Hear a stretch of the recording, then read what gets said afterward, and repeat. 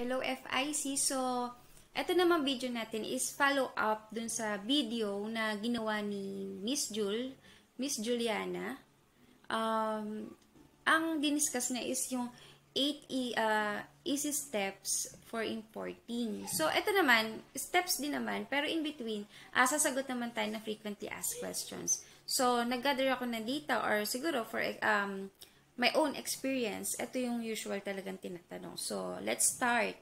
Um, sa 8 easy importing steps, ang um, nakalagay sa una is find the supplier. So, makikita nyo, um, sinasuggest namin lagi is Alibaba.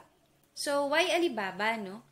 Bukod sa most trusted si Alibaba, may protection siya na binibigay sa ating mga customers niya. Ito po yung tinatawag natin trade assurance. Kaya we suggest na every time na maghahanap kayo ng supplier, look for a trade assurance badge. So, what is trade assurance, guys?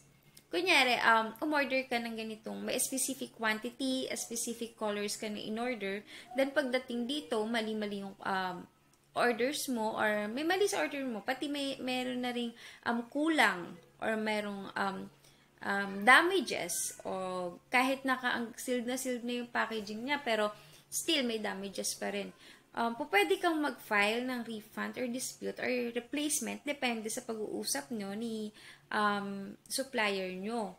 So, ang tip naman dito, um, medyo matrabaho siya lalo na pag paulit-ulit na yung import mo, pero before mo buksan yung mga um, boxes mo, siguro much, much better kung magtitake ka lang ng photo na sealed yan bago mo binuksan. So, if may missing dyan, possible, kulang yung nalagay ni supplier. So, um, more of Alibaba tayo, no? Actually, kasi guys, si Alibaba is para siyang Shopee or Lazada. Ang pinagkaiba lang, uh, ang makikita dito na items kay Alibaba is direct from factory. So, pag um, may mga naririnig tayo dito no, no, or eto kami, mas top of the line kasi direct from factory kami. So, eto yun. So, quality-wise, maganda yung quality kasi sa factory mismo galing. Tapos, hindi siya local na dito lang ginawa. From China na din siya. Pero, mas affordable. Ayun ang kinaganda pagka mag import ka rin. So, direct na from factory, kaya mura na. And unlike sa Lazada or Shopee, pwede tayo mag-direct buy, di ba? Kunyari, flash sale add to cart pag nagda-doubt ka pa. Pag naman buo na loob mo, ilalagay mo na um, buy now or buy, ganun. Si Alibaba kasi hindi ganun. Kailangan mo ng uh, contact or conversation or mag-usap kayo ng supplier. Kailangan nyo yun kasi um, hindi, since import to, kailangan may coordination kayo sa mga details. So, ayun yung, ano, ayun yung difference nita, nila So, going back, so, so yun, ayun yung difference ni Alibaba and ni Lazada or Shopee. Pagka naghahanap na kayo ng item nyo, di ba, syempre, scroll sa search, scroll, scroll, makikita mo, oy, mura. Tapos nakita mo, ito yung need ng MOQ. So, first, what is MOQ? Ito yung uh, medyo mga fear, fear na mga newbies to eh. Kahit ako, pag may gusto kong pasukin, parang may takot ako kasi may mga terms. May mga terms sila na hindi ako familiar. Tapos minsan, syempre, ah, pag nagdi-discuss sila, terms na lang ginagamit nila. Na hindi ako familiar. So, isa yun sa fear ko din. So, what is MOQ? Minimum Order Quantity. Ano ibig sabihin nun, ma'am? Kunyari ako, seller ako ng clothes ang price ang price ng isa kong clothes is uh, 400 per piece. Pero sinabi ko sa iyo na sige bumili ka sa akin ng 40 pieces, bibigay ko sa iyo ng 200 pesos. Ayun, um, ayun yung minimum order quantity ko. Na pag na-hit mo yung 40 pieces na damit, bibigay ko ng 200. Pero pag hindi mo siya na-hit, bibigay ko siya ng 400 per piece. Kunyari, kaya mo lang is 20 bibigay ko siya sa inyo ng 400 pa rin.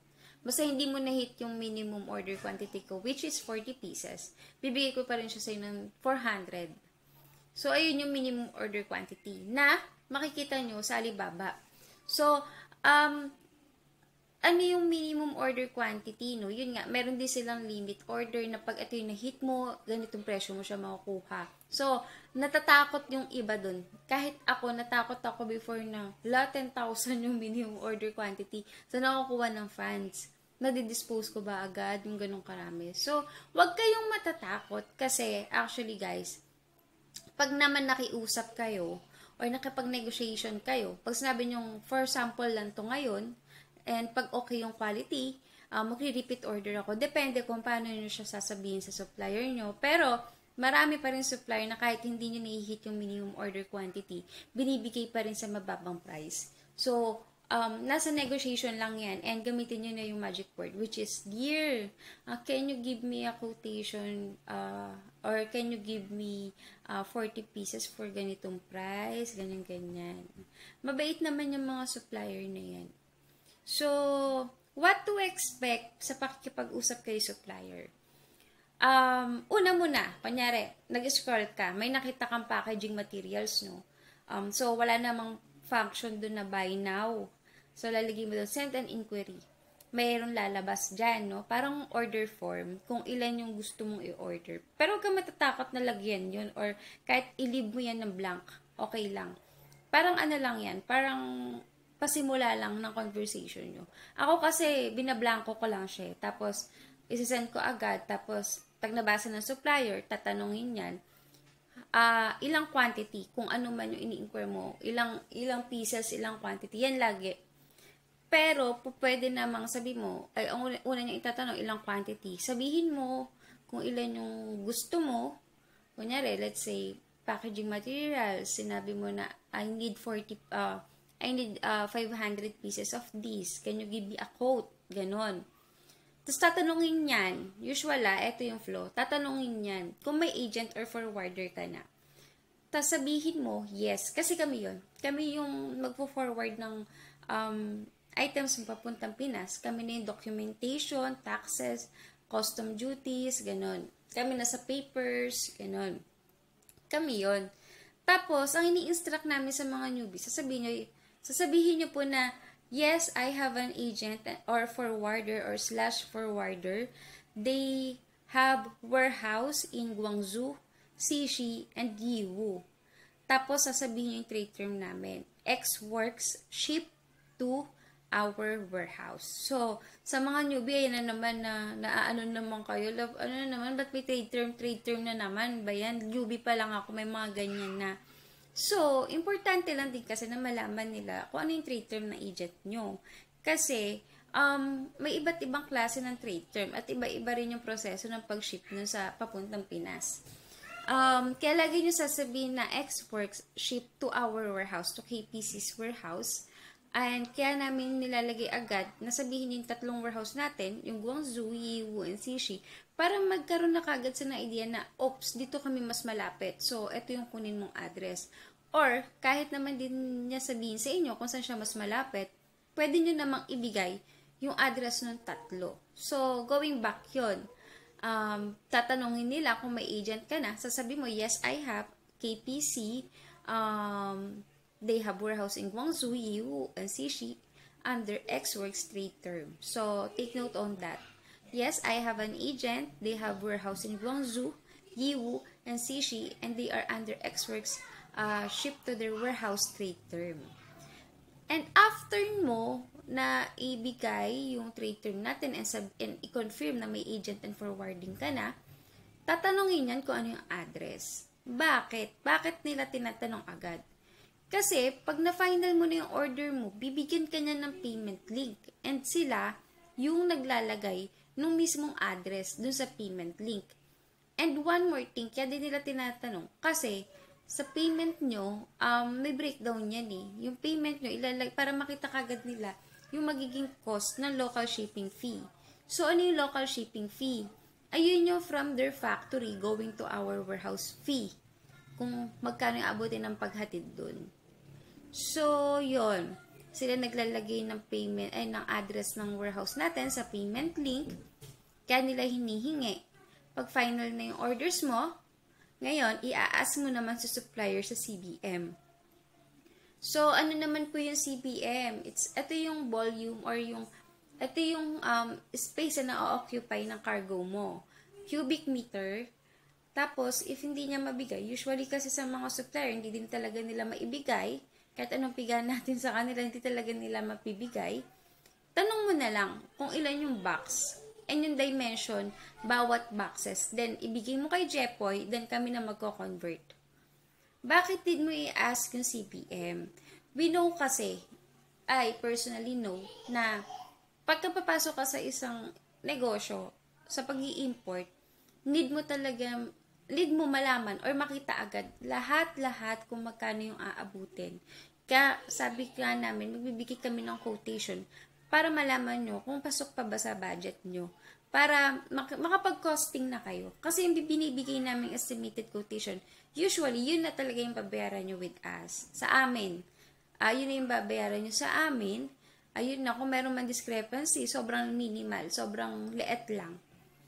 So, yun. Kaya natin kailangan ng CBM para mabigyan namin kayong quotation and ma-check nyo kung pasok pa. Siyempre, lahat naman tayo gusto natin yung breakdown ng expenses natin, nakikita agad natin. And para ma-compute natin kung magkano rin yung magiging in return sa atin, no? So, ayun, para lang bago nyo i-go kay supplier, alam nyo na kung magkano talaga. Hindi yung, nako, baka ma-short ako. So, mer ang maganda dito is, yun, makikita nyo na din talaga agad. So, if okay ka na sa orders mo, pwede ka man na mag-request ng draft payment link. So, bakit draft payment link? Kasi nga, draft meaning subject to change pa siya. Kung may papachange ka, i-change naman ni supplier. Kung may papadagdag ka sa order mo, dada, uh, babaguhin niya ulit ni supplier yung payment link. Kung mag-change warehouse address ka, babaguhin niya. So, draft payment link muna. So, ano yung payment link? Dito nakalagay na yung address, yung shipping address natin. Yung binigay mo, yung kanina sinasabi ko na ibigay mo na kay warehouse yung address kung saan siya mas malapit. Kasi siya yung maglalagay dito ng address sa payment link. So, dito mo din ilalagay yung needed details ng card na gagamitin mo pang bayad. Dito ka din po magsisettle ng payment.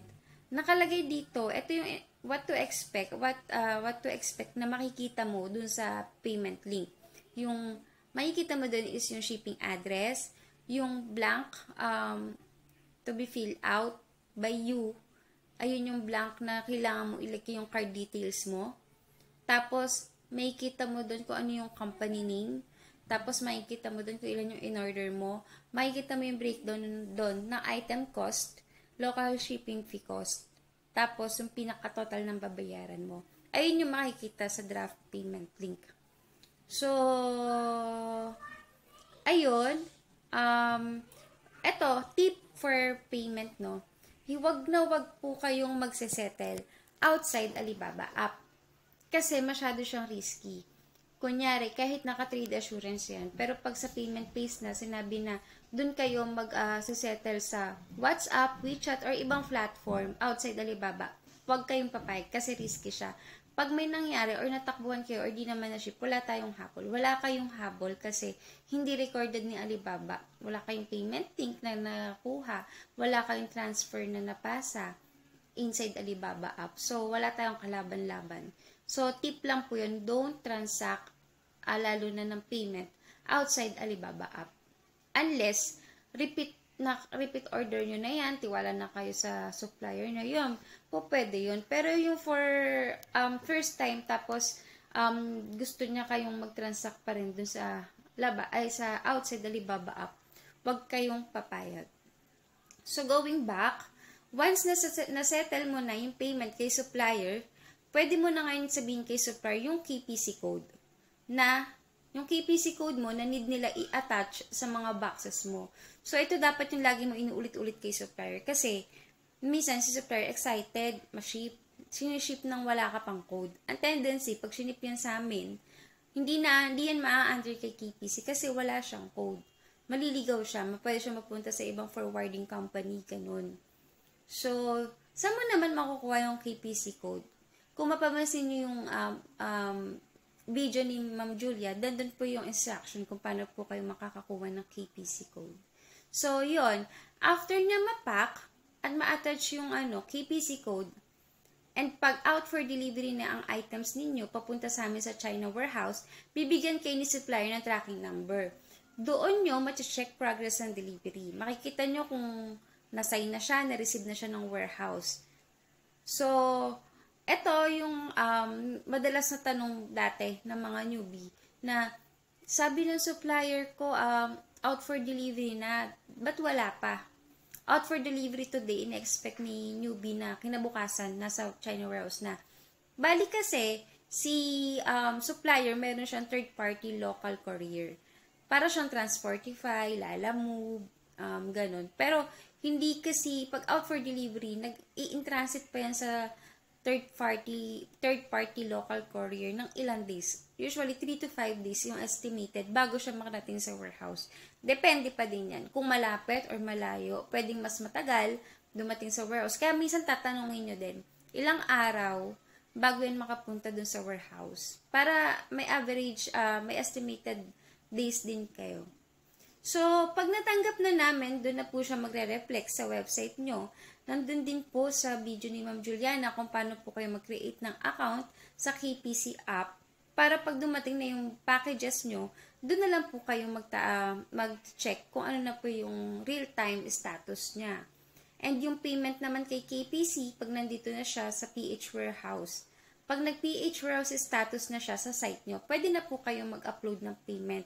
And one more thing, we have a credit card payment na rin po. Uh, magkakaroon na tayo ng credit card payment sa um, app, inside the app, soon.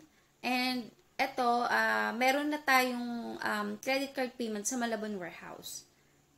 And yun lang naman, so yun lang naman yung mga frequently asked questions na na-encounter ko sa araw-araw.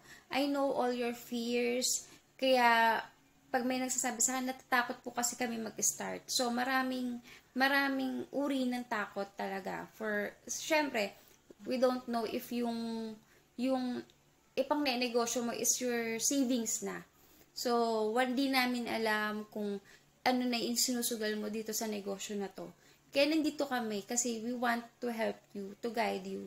Hindi tayo dito um, more on after um, client and and ano lang, doon lang nagtatapos yung hindi lang doon nagtatapos yung relationship natin. Gusto namin na ang sarap lang din sa, lang din sa pakiramdam na sa amin kayo mag start then makikita namin from small CBM, lumalago kayo, nag-grow kayo, iba rin yung fulfillment sa amin nun, sa KPC team, pag po yung ganun po yung nangyari. So, don't uh, hesitate na mag-DM um, kay Jepoy, igagade niya kayo um, tuturuan namin kayo step by step, magtsatsaga kami na sumagot sa inyo hanggang sa ma-overcome natin pare-pares yung fears natin. So, yun lang FIC, happy holidays and thank you for your continued support.